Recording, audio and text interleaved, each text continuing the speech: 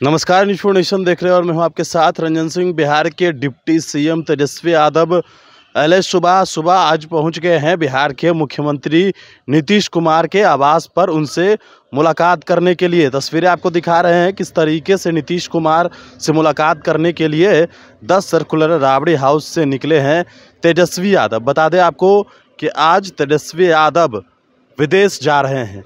फ़िलहाल यहाँ से वो दिल्ली जाएँगे और दिल्ली से जो है विदेश जाने का प्रोग्राम है। अपनी पत्नी को भी लेकर जो है तेजस्वी यादव विदेश जाएँगे क्योंकि उन कुछ ही दिन पहले अपने बेटी जो है उसका भी उन्होंने पासपोर्ट बनवाया है और उसी को लेकर तैयारियों में जुटे हुए थे। इसी बैठक का इंतज़ार था।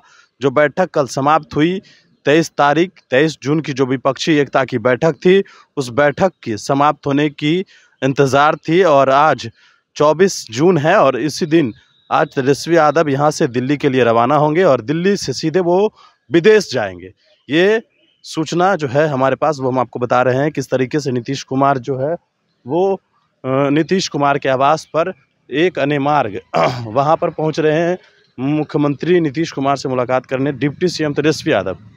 क्योंकि विदेश जाएँगे तो कई दिन लग सकते हैं विदेश में और इस वजह से मुख्यमंत्री को तमाम चीज़ों की जानकारी पहले से भी है, लेकिन आज जाने से पहले तेजस्वी यादव नीतीश कुमार से मुलाकात करेंगे। हालाँकि पहले से इस बात की जानकारी है कि 24 तारीख को तेजस्वी यादव को दिल्ली जाना है, वहाँ से विदेश जाएँगे और इससे पहले आज अहले सुबह सुबह जब दस बजा है और अभी फ़िलहाल तेजस्वी यादव अपने आवास से निकलकर सीधे मुख्यमंत्री नीतीश कुमार से मुलाकात करने के लिए पहुँच गए हैं। वहाँ पर कई तरह की बातें होगी। एक तो जो विपक्षी एकजुटता की जो बैठक हुई है, उसमें क्या कुछ फलाफल निकला है, वो दोनों बेहतर समझ रहे होंगे, क्योंकि वो दोनों नेता जो हैं, वो लगातार हर जगह पर भ्रमण किए हैं, कई राज्यों में गए और कल तमाम राज्यों के मुख्यमंत्री यहाँ पर पहुँचे थे। तमाम राज्यों की उसमें बात कर रहे हैं, जो विपक्ष में हैं, वे तमाम लोग यहाँ पर पहुँचे थे। अब तेजस्वी यादव की अगर बात की जाए तो वो आज फ़िलहाल अभी मुख्यमंत्री नीतीश कुमार से मुलाकात कर रहे हैं।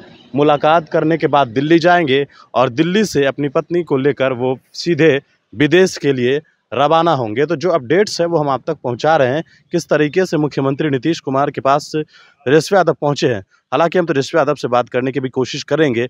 जब वो एयरपोर्ट निकलेंगे तो उनसे हम ये सवाल करेंगे कि आखिरकार कल जो बैठक हुआ है, उसमें फलाफल क्या निकला है, इस बात की भी जानकारी हम उनसे लेने की कोशिश करेंगे।